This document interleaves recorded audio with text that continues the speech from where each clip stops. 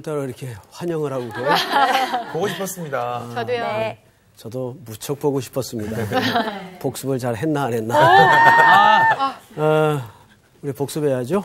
네. 이제 오늘로서 벌써 사무엘서 강의는 세 번째 시간인데 이제 점점 사무엘서에 담긴 그 깊은 그 역사적 맥락을 좀 이제 알아가고 있는 중이죠. 네. 우리 저기 정준 학생부터 한번 지난주 공부한 거. 네, 지난주에 생각나는 거는 그 엘리 제사장의 두 아들들에 대해서 그 결국에 멸망 그 가, 그 집이 멸망을 하는데 그것이 이제 제사로만 되는 것이 아니라는 거.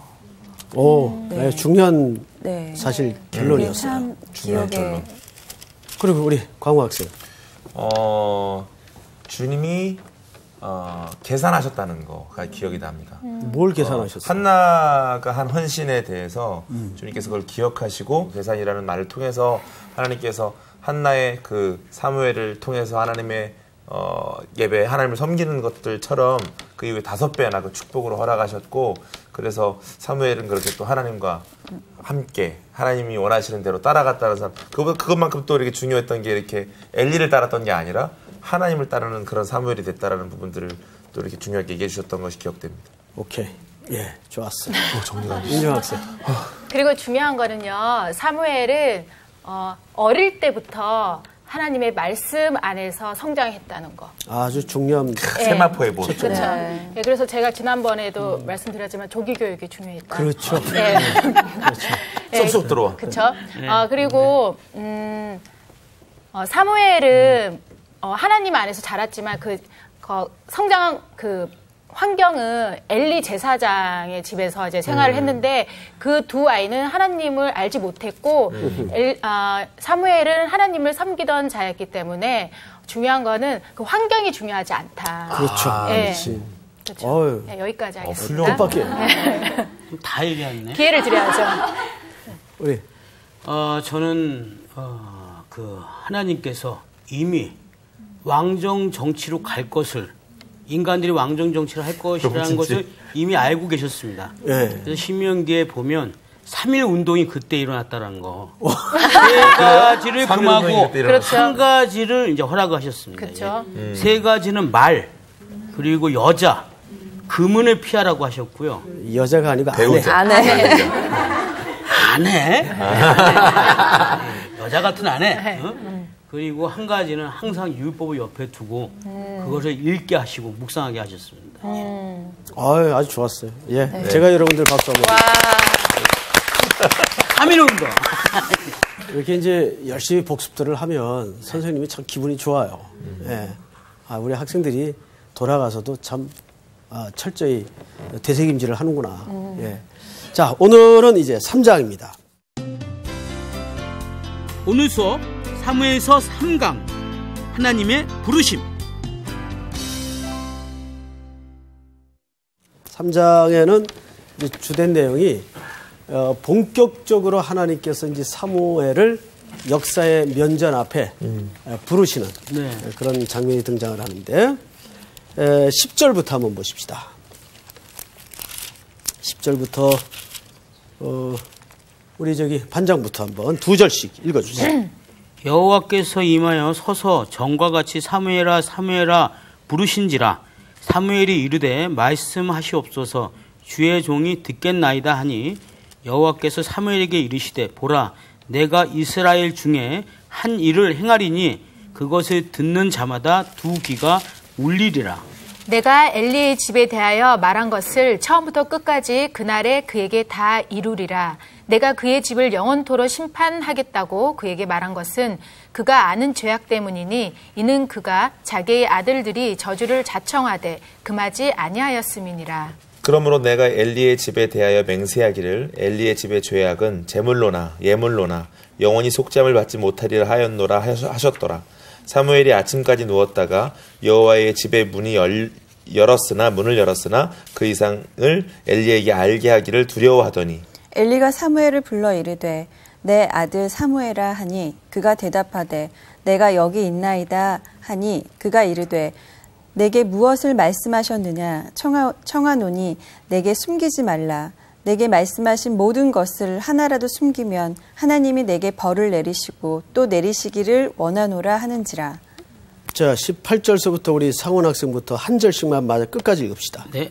사무엘이 그것을 그에게 자세히 말하고 조금도 숨기지 아니하니 그가 이르되 이는 여호와시니라 여- 선하신 대로 하실 것이니라 하니라 사무엘이 자람에 여호와께서 그와 함께 계셔서 그의 말이 하나도 땅에 떨어지지 않게 하시니 단에서부터 부엘스바, 부엘스바까지의 온 이스라엘이 사무엘은 여호와의 선지자로 세우심을 입은 줄 알았더라.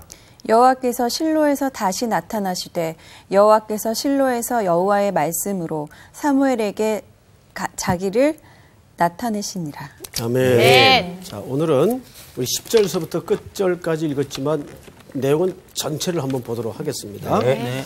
어, 1절에 보면 아이 사무엘이라는 말로 시작을 하죠. 네. 아이 사무엘이.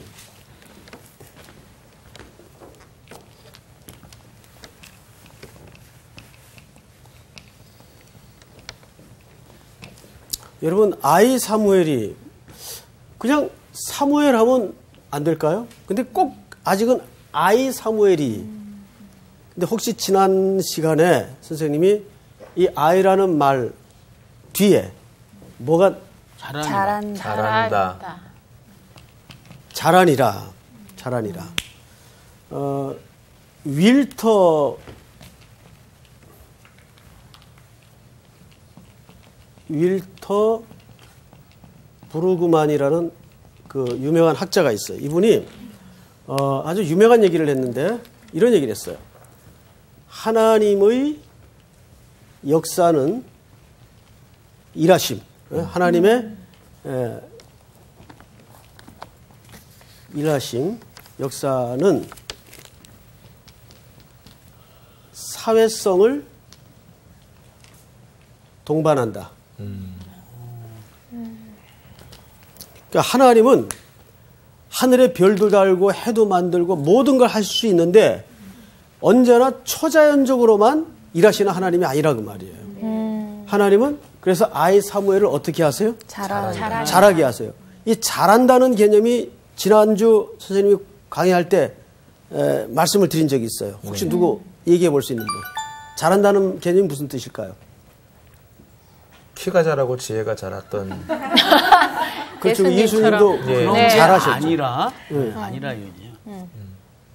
그- 아니면 아니면 아니면 아니, 그런 건 아니었다는 것만 이게 기억이 나고요. 아, 답은 답은 생각이 안 나고 네. 어, 이 잘한다는 말은 어, 여러 가지로 해석을 할 수가 있는데 하나님이 준비시키신 거예요. 아, 그렇지. 그게 준비시키. 그치 저거 예. 그래서 모든 걸 경험케 하셔요. 아, 그리고 이 속에는 선악의 구조가 뒤섞여 있죠. 그래서 예를 들어서 엘리는 육체적으로는 어, 사무엘은 육체적으로 누구에게 예속돼 있죠? 하나님 엘리에게 예속돼 네. 있죠. 아, 네, 네. 근데 누구를 섬기죠? 하나님. 하나님 그렇죠. 그러니까 선악 구조가 뒤섞임 속에서 항상 하나님은 경험케 하시고 준비하셔서 그 속에서 하나님의 전능하심을 드러냈어요. 그거를 하나님의 역사는 사회성을 동반한다. 그게 아주 중요한 개념입니다. 오늘 아마 주로 이쪽에 포커스가 맞춰질 겁니다. 그래서 아이 사무엘은 어느 날 갑자기 어른으로 떨어진 게 아니라 근데 하나님은 그렇게 하실 수 있죠. 네. 그러나 잘하게 하세요. 그러니까 서서히 역사 속에서 드러냈어요. 그래서 지난주 그 윌터 카이저라는 분이 그 계약 언약의 나선형 네. 창세기 15장에 심어진 원시 복음이 나중에 역사 속에서 그리스도라는 실체로 드러나기 시작하죠. 네. 그렇게 커가고 확대되고 드러난다 그 말이에요. 네. 그 전체의 맥락을 누가 붙들고 있냐면 하나님이 붙들고 있다는 얘기예요. 자, 그러면 아이 사무엘이 자, 1, 어, 1절을 보십시다. 아이 사무엘이 엘리 앞에서 여호와를 섬길 때에는 여호와의 말씀이 어떻게 해요? 희귀하여. 희귀하여 이상이 흔히 보이지 않았더라. 자, 저를 보세요. 그러니까 눈먼 시대예요. 그래서 엘리의 눈도 점점 어두워가죠. 그러니까 예를 들어서 이삭이 에서와 야곱에게 축복을 바꿔서 할 때도 이삭의 눈이 어땠어요? 어두웠어. 어두웠어요. 네, 그것은 단순히 생물학적으로 나이가 들어서 눈이 안 보이기 시작했다 그 말이 아니라 영적으로 어두웠다 그 말이에요. 영적으로 어두우니까 하나님 앞에 마지막에 올바로 판단을 하지 못하고 자기 육체의 입맛을 돋굴 별미를 찾다가 축복을 바꿔버리죠. 그걸 못 깨달아요. 그런데 야곱은 험난한 인생 풍파를 겪으면서 야곱은 처음엔 눈이 어두워 있었어요. 그런데 갈수록 그런 영안이 밝아지기 시작해요. 그러니까 나중에 아들, 네. 요셉의 아들 둘을 축복할 때 네. 팔을 팔을 어긋 맡기죠. 네. 네. 그래서 요셉이 놀래가지고 아버님 바뀌었습니다. 그러니까 야곱이 뭐라 그래요? 나도 안다. 안다. 정확히 알아요. 그러니까 그것은 단순히 생물학적인 노안 이걸 얘기하는 게 아니라 시대의 눈을 얘기하는 거예요. 그러니까 제사장의 눈이 어두웠다는 것을 이렇게 이 시대는 제사장의 눈이 어두우니까 어떻게 됩니까? 시대가 어두워지는 거예요. 이것을 이사야 선지자가 이렇게 얘기를 했어요. 우리 이사야서 29장을 한번 다 찾읍시다. 음, 아, 9절서부터 읽읍시다. 천천히 찾으세요. 999쪽. 자, 먼저 찾은 분이 누구 한번 9절서부터 읽어보시겠어요?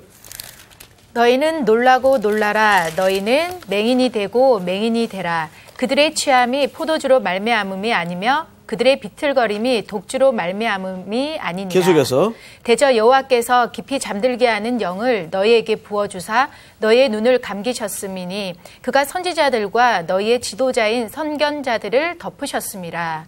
그러므로 계속. 모든 계시가 너희에게는 봉안책의 말처럼 되었으니 그것을 글아는 자에게 주어, 주며 이르기를 그대에게 청하노니 이를 읽으라 하면 그가 대답하기를 그것이 봉해졌으니 나는 못 읽겠노라 할 것이요 또 그 책을 글 모르는 자에게 주며 이르기를 그대에게 청하노니 이를 읽으라 하면 그가 대답하기를 나는 글을 모른다 할 것이니라 네, 그 옆에 우리 광호 학생이 13절.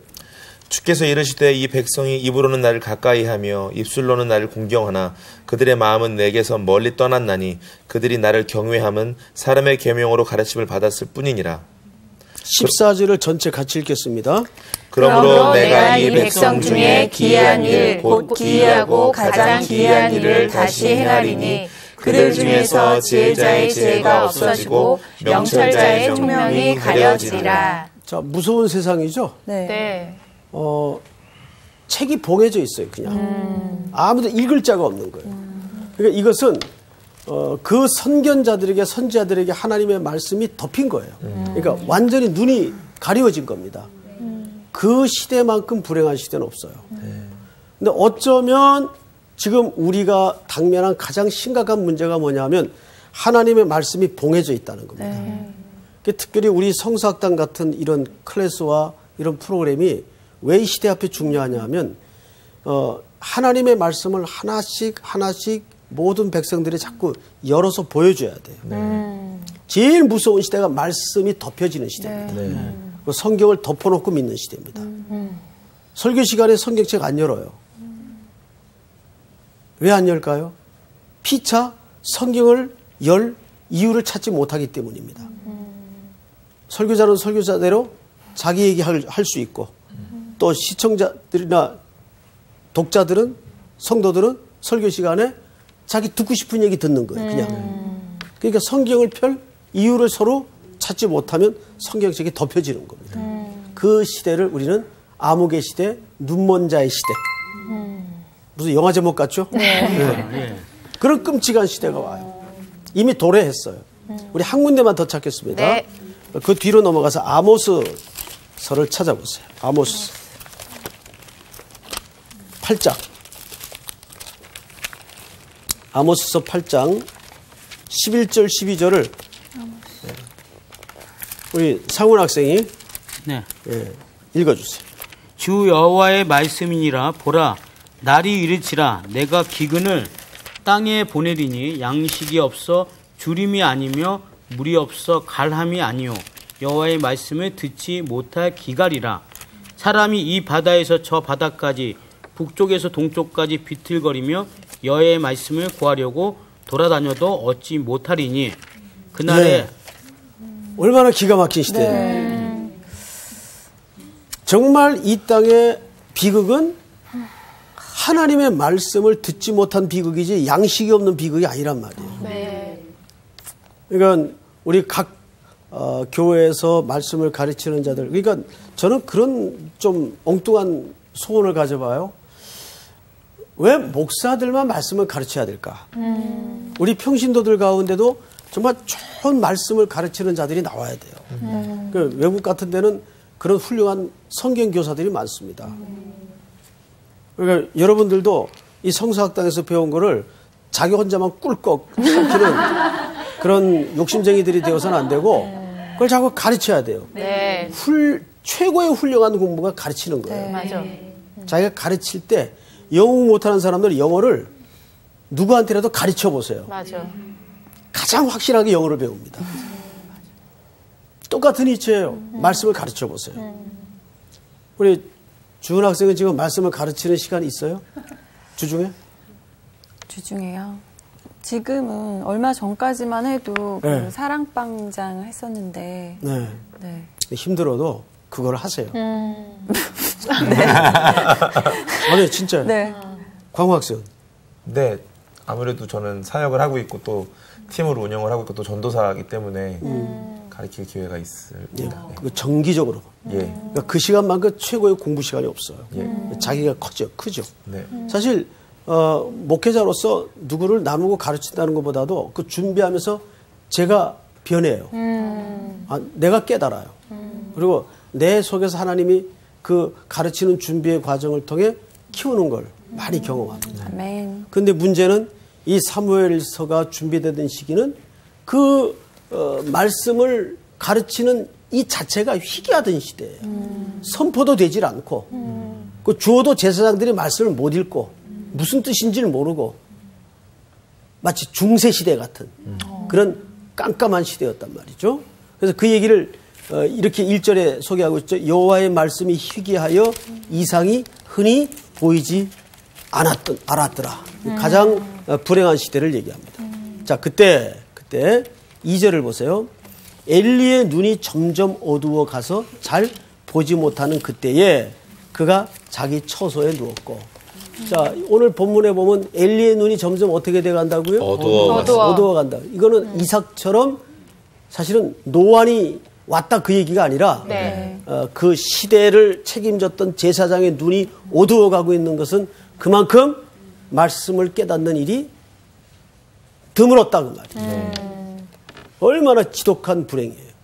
그 제사장 상태가 이럴 찐된 백성들의 상태는 보나마나 이건 네. 똑같은 거예요. 더하면 더했지. 그런데 이때 어떤 일이 벌어지는가 하면 3절 잘 보세요. 하나님의 등불은 아직 꺼지지 아니하였으며 사무엘은 하나님의 궤에 있는 여호와의 전 안에 누웠더니 뭔가 아주 가녀리지만 희망스러운 조짐이 오늘 있다. 본문에서 보여주고 있습니다. 여기 하나님의 등불은 꺼지지 않았답니까? 아직 꺼지지 않았답니까? 아직. 아직 꺼지지 않아. 아직 꺼지지 않았어요. 이게 뭘 얘기하는 건지 아세요, 여러분? 기회를 주는 건가요? 희망. 자, 이거 보세요. 우리 성경에 보면 이런 유명한 성경 기억나시죠? 꺼져가는 등불도 끄지 꺾지 아니하시고 아니하지. 상한 갈 때도 꺾지 않아요. 꺾지 아니하시고 자 꺼져가는 등불도 놓지, 않, 끄지 않는다는 말은 무슨 말일까요? 놓지 않는다는 거. 그렇죠. 도착. 사랑- 끝까지 사랑하신다는. 거. 자 기름이 떨어진다고 등불이 꺼지는 건 아니죠. 네, 언제 등불이 꺼집니까? 등불이 마지막에 기름이 떨어진다고 꺼지는 게 아니라 심지? 를다 태워야 꺼집니다. 네, 이게 꺼져가는 불이에요. 그 이미 기름은 없다. 네. 끊어진 거예요. 예. 이 심지만 타버리면 그 등불은 꺼져요. 근데 여기 오늘 본문에 보니까 뭐라고 돼 있어요? 아직 아직 꺼지지 않는. 등불은 꺼지지 꺼지지 않았어. 않았습니다.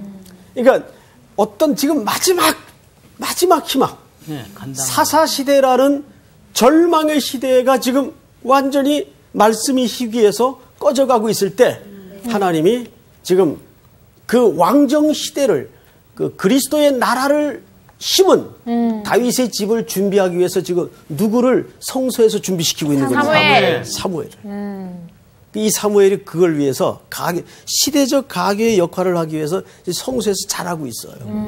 근데 지금 하나님의 등불은 아직, 그러니까 하나의 이거 시적인 표현이에요. 하나님의 등불은 아직 꺼지지 아니하였고 성소에서 지금 사무엘은 잘하고 있어요.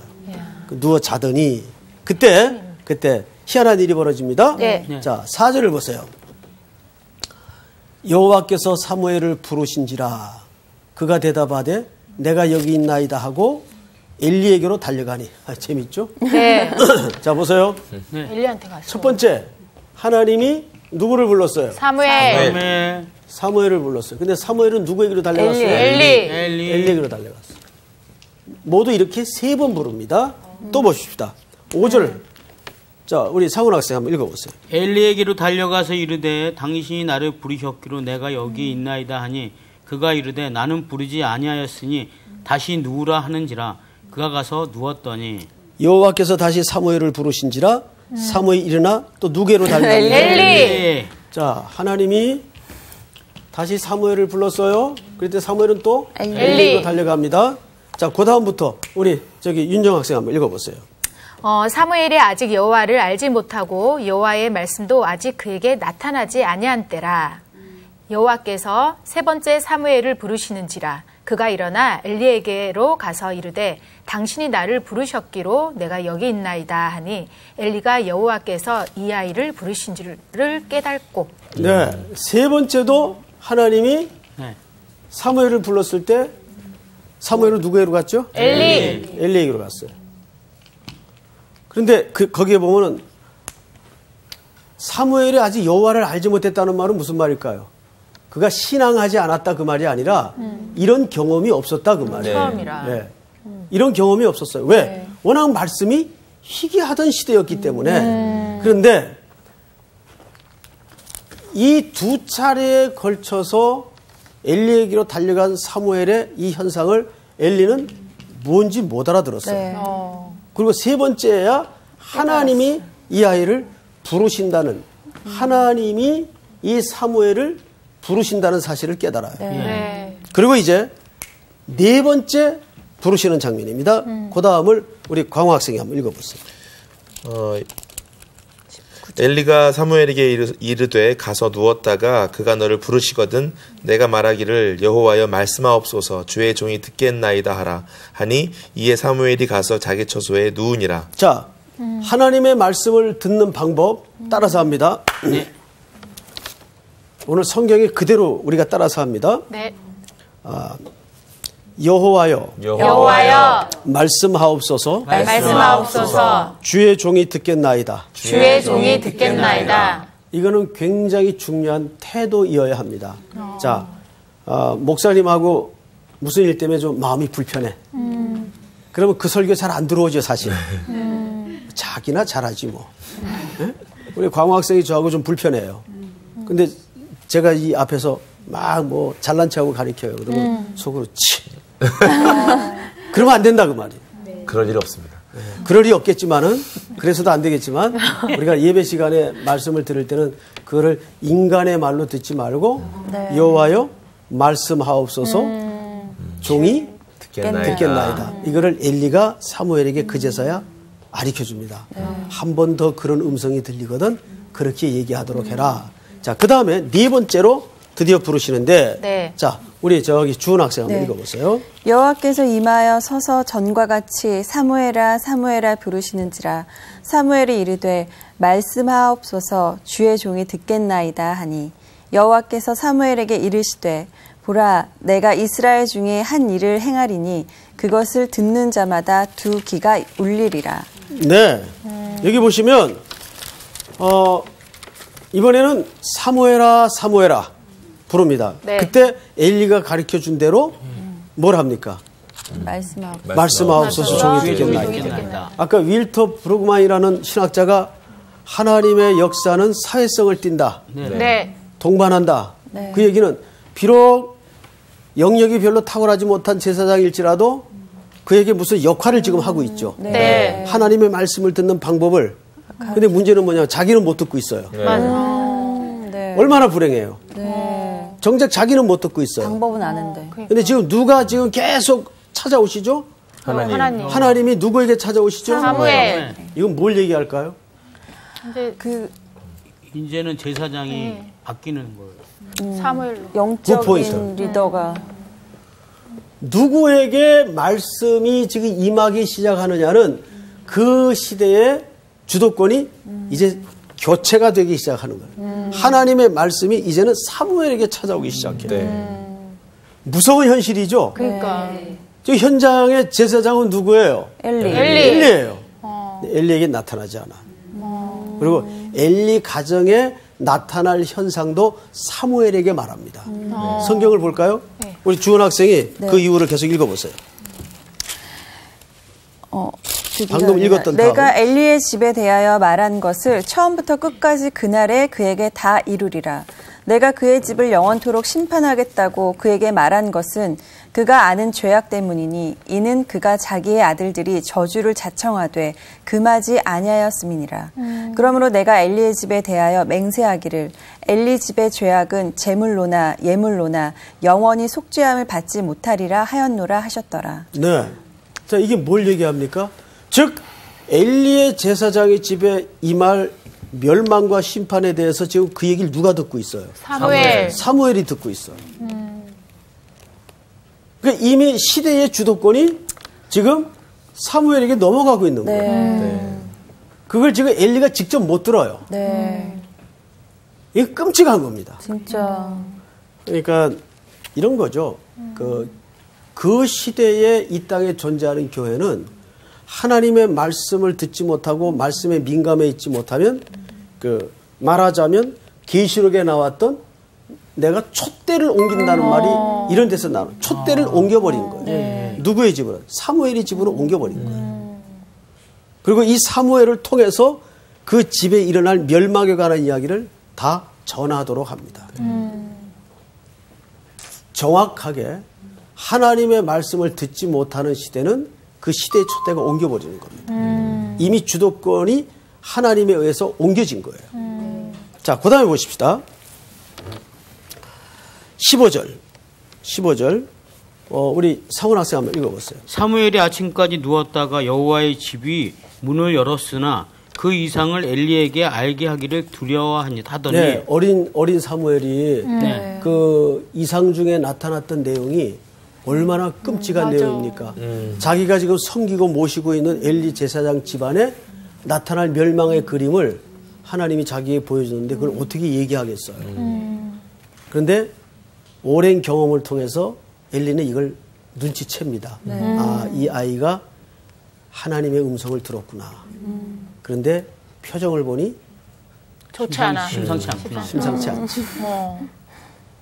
그래서 사무엘을 통해서 하나님의 말씀을 들어요. 네. 어. 참 안타깝다. 사무엘을 통해서. 그러니까 이 시대가 얼마나 뒤엉킨 시대라는 걸 알겠죠. 그리고 이제 그 내용을 사무엘이 할 수 없이 얘기합니다. 우리 윤정 학생이 한번 읽어볼까요? 네. 16절서부터. 엘리가 사무엘을 불러 이르되 내 아들아 내 아들 사무엘아 하니 그가 대답하되 내가 여기 있나이다 하니 그가 이르되 내게 무엇을 말씀하셨느냐 청하노니 내게 숨기지 말라 내게 말씀하신 모든 것을 하나라도 숨기면 하나님이 내게 벌을 내리시고 또 내리시기를 원하노라 하는지라 사무엘이 그것을 그에게 자세히 말하고 조금도 숨기지 아니하니 그가 이르되 이는 여호와시니 선하신 대로 하실 것이니라 하니라. 네. 그리고 그 다음 절에 사무엘이 자라매 여호와께서 그와 함께 계셔서 그의 말이 하나도 땅에 떨어지지 않게 하시니. 자, 여기 또 마지막에 마치 큰 괄호 안에 들어가는 이야기처럼 사무엘이 어떻게 한다고요? 자라매. 자라매. 자라매라고. 여러분 혹시 그 영화 중에 어, 이런 영화 그 보신 적 있나요? 어, 이게 오래된 영화인데 애니 기분 썬데이라는 영화 보신 적 어? 있나요? 네, 본 것 같아요. 봤어요? 그 알파치노 나오는 거. 그 알파치노는 이제 뭐 퇴락한 실패한 인생이죠. 거기서 등장하는 인물이. 그런데 그가 어, 미식 축구 감독을 맡게 됩니다. 근데 그 팀은 한때는 명문 팀이었는데 그 팀도 역시 자기 신세처럼 몰락한 팀이 돼버리고 말았습니다. 계속 시합에 나가면 지는 거예요. 근데 어쩌다가 자기 운명 같은 팀을 맡게 돼요. 근데 게임을 했는데 또 게임이 엉망이에요. 선수들은 개인 플레이하고 손발이 안 맞아요. 그러니까 마지막에 그 선수 대기실에 이제 그 하프타임 때 선수들을 전부 불러 모아놓고 그냥 탁 초죽음이 돼서 막 다운이 돼가지고 선수들은 땀을 뻘뻘 흘면서 앉아 있는데 알파치노가 거기서 아주 기가 막힌 연기를 해요. 그리고 기가 막힌 말을 해요. 어, 인생의 오차 범위는 1인치다. 밤보다. 얼마, 얼마나 우리가 열심히 뛰느냐, 안 뛰냐에 따라서 승패는 갈라진다. 그것이 근데 큰 걸음이 아니다. 1인치 싸움이다. 1인치 싸움. 이 연기를 신 들린 듯이 합니다. 그리고 막 열연을 하죠. 1인치 싸움이다. 그리고 그 더가웃에 있는 선수들을 독려합니다. 그게 아주 인상에 남는 장, 장면이에요, 사실은. 아, 근데 우리 인생도 똑같은 것 같아요. 우리 생활을 이렇게 돌아보면 사람이 갑자기 무너지는 사람은 없어요. 맞아요. 정말 그렇습니다. 무엇인가 오랜 세월을 걸쳐서 차곡차곡 밑에서부터 허물어지기 시작하는 거예요, 기초가. 엘리의 집이 어디서부터 시작이 되었어요? 엘리의 가문의 멸망은 어디서부터 시작이 되었어요? 제사를 같이 한 예배를 그 자녀들이 하나님 알지. 신앙 교육을 알지 못하고 그 자녀들이 예배를 멸시하는 데서부터 이 집안의 멸망은 이미 차곡 차곡. 마치 밑에서 그 기둥을 벌레가 깎아먹듯이 진전이 되어 왔던 거예요. 그런데 오늘 드디어 리더십이 역사의 리더십이 커다랗게 바뀌면서 그 멸망의 선거를 그것도 직접 듣는 것도 아니고 자기가 수련생으로 데리고 있던 사무엘에게서 그 이야기를 들어요. 하나도 남김없이 그 이야기를 듣습니다. 그 상황이 얼마나 이게 끔찍해요. 네. 비통스럽고. 네. 근데 놀랍게도 음. 이렇게 엘리의 집은 문을 닫습니다. 그럼 제사장 집이 문을 닫았다는 것은 무슨 말일까요? 제사가 끊어졌다는 얘기입니다. 네.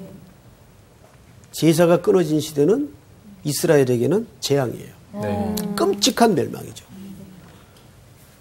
이스라엘이 제사가 끊어졌던 때가 언제입니까? 몽땅 포로로 붙들려 갔을 때. 제사가 끊어집니다. 마치 그런 불행을 지금 앞두고 있다고 봐도 되는 거예요. 그런데 지금 한켠에 마치 기가 막힌 그림을 비교해 놓듯이 사무엘은 점점점 돋는 햇볕처럼 역사의 전면에 등장을 하고 있어요. 네. 그것을 성경이 이렇게 소개를 합니다. 자, 보세요. 19절. 사무엘이 자라매 여호와께서 그와 함께 계셔서 그의 말이 하나도 땅에 떨어지지 않게 하시니 20절 저기 우리 광호 학생. 단에서부터 부엘세바까지의 온 이스라엘이 사무엘은 여호와의 선지자로 세우심을 입은 줄을 알았더라. 자, 보세요. 단에서부터 부엘세바까지는 이스라엘 처음과 끝을 얘기합니다. 우리 우리나라를 얘기할 때 서울에서 부산까지 얘기하죠. 네. 네. 그 남쪽 전체를 얘기하는 거 아닙니까? 그런 식의 비교예요. 그런데 단에서부터 부엘세바까지 온 이스라엘이 사무엘은 여호와의 선지자로 세우심을 입은 줄 알았더라. 그러면 이 알미 갑자기 알아진 겁니까? 아니요. 야 사무엘이 하나님이 세운 선지자래 이렇게 알아진 겁니까? 아니요. 아니죠. 큰 바위 얼굴처럼 차곡차곡 차곡차곡. 깨닫게 된 거예요. 이게 뭐예요? 하나님의 역사는 사회성을 동반하는 거예요.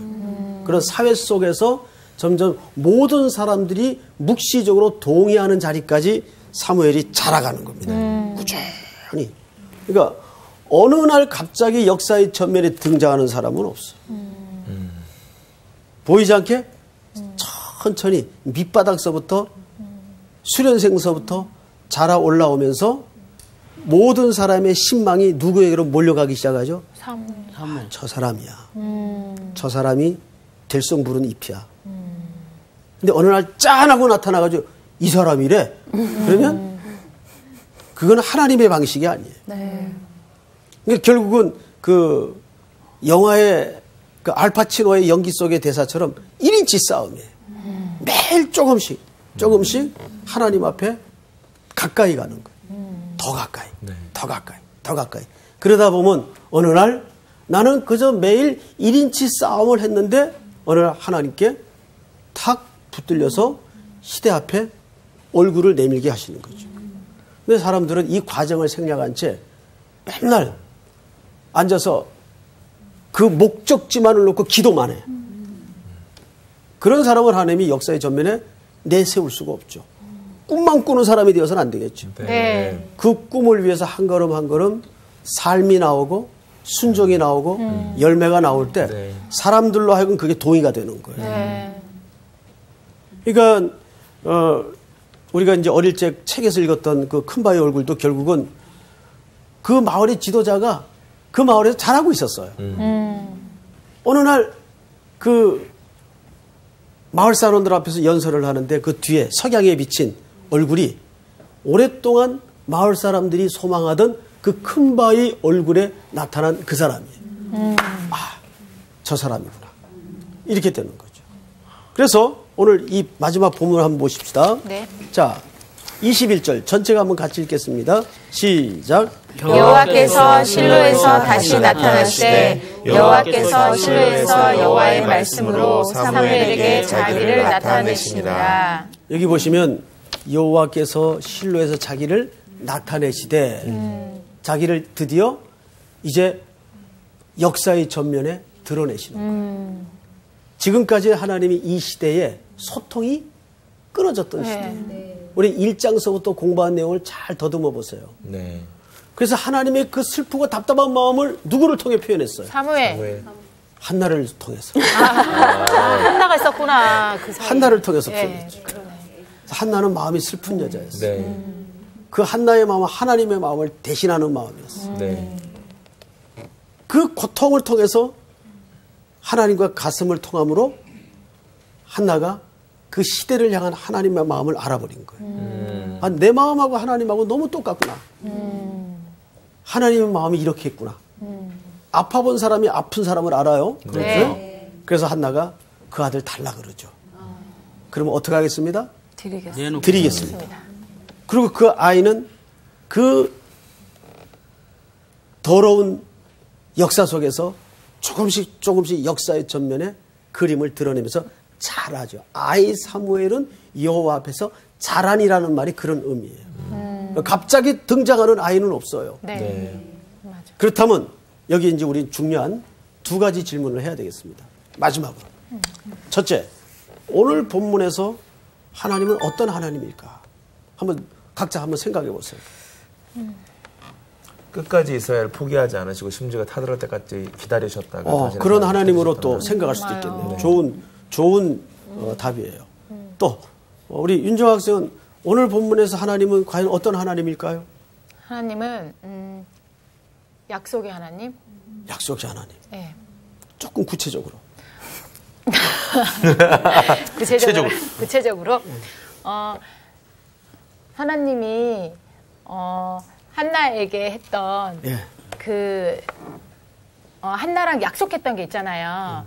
어, 그 아이를 나에게 줬을 때 내가 어, 그 이상으로 더 많이 주셨잖아요. 하나님은 결코 입을 그냥 닦으시는 분이 아니시잖아요. 그래서 아, 하나님은. 어, 한나에게 많은 아들도 자식들도 주셨지만 어, 결국에는 어, 이스라엘을 포기하지 않으시고 끝까지 이스라엘을 회복시켰던 아 회복의 하나님도 되겠네요. 그러니까 아, 약속의 하나님 회복의 하나님 좋다. 사랑의 하나님 기가 막히다. 근데 우리 윤정 학생 그 회복을 하나님이 어떤 방식으로 접근해 들어오셨나요? 그 회복 회복에 가장 리트머스 네, 시험지가. 걸렸어. 사무엘을 통해서 그 사무엘이 사무엘이라는 인물이 갖는 상징성이 있어요. 준비. 뭘까요?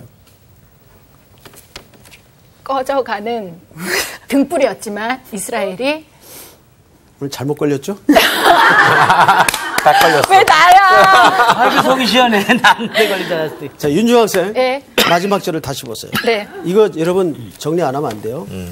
여호와께서 실로에서 다시 나타나시되 여호와의 실로에서 여호와의 말씀으로 사무엘에게 자기를. 나타내시라. 뭘로 나타내셨어요? 여호와의 말씀. 말씀. 그 시대의 가장 심각한 문제가 뭐였어요? 말씀의 부재였죠. 말씀. 네. 말씀의 부재였죠. 그리고 부엘세바에서부터 단까지 이 사무엘 선지자의 말씀이 선포되고 회복되면서 꿈결처럼 이스라엘이 회복이 되고 일어나요. 자기가 주제는 정확하게 말씀을 했는데 이제 그 구체성을 좀 음, 1인치가 부족했네요, 제가. 네, 항상 눈치 싸움이야. 네, 그 부족함을 느끼는 가운데 네. 더 하나님에 대한 목마름을 키워나가는 거예요. 아멘. 네. 자 이제 마지막으로 네. 마지막으로 우리 전체가 한번 생각을 해보세요. 네. 그러면 오늘 이 본문에서 하나님 내게 하시는 말씀은 뭘까? 늘 성경 공부로 맞춰지면 안 되겠죠. 네. 내게 하시는 말씀은 뭘까? 이것은 숙제로 남기겠습니다. 아, 지금 얘기하려고. 지금 하려고 했는데. 하고 싶었는데. 자 오늘 공부는 여기서 끝. 수고하셨습니다. 여기까지. 아. 아쉽다. 다시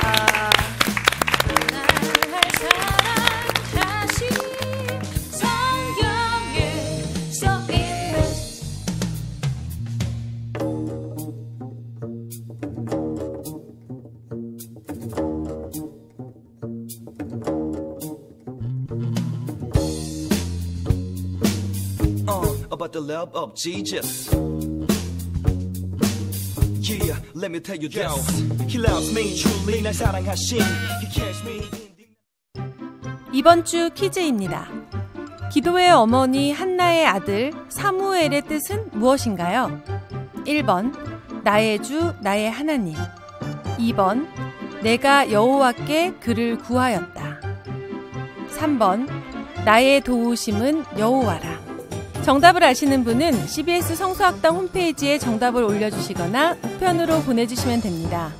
보내실 곳은 서울특별시 양천구 목동 서로 159의 1번지 CBS 성서학당 담당자 앞입니다.